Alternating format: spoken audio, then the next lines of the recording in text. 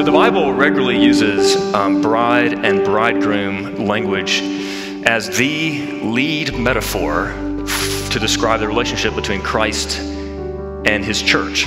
Christ is the groom, and the church is the bride.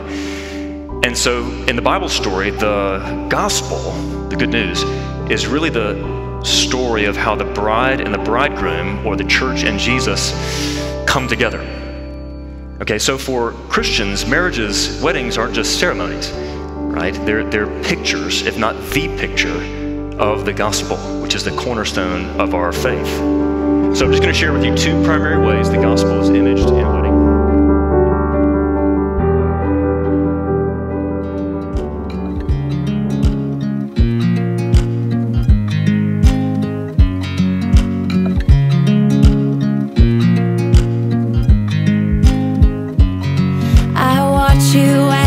drive. Do you know I'm looking? And I can't help but smile. Do you know how much I love you? You put my favorite song on. I put my feet up. And we just sing along. And I can't help but feeling just loving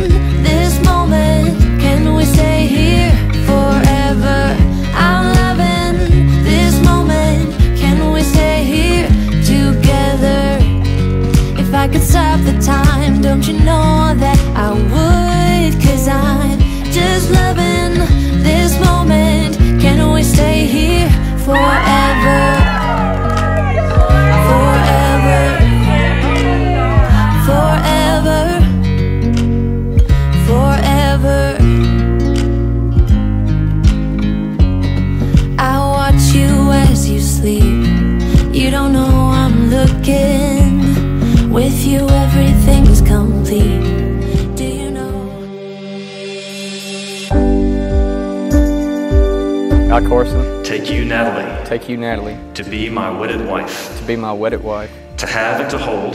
To have and to hold. From this day forward, from this day forward, for better or for worse, for better or for worse, for richer or for poorer, for richer or for poor, in sickness and in health, in sickness and in health, to love and to cherish. To love and to cherish, as long as we both shall live. as long as we both shall. I watch you as you sleep.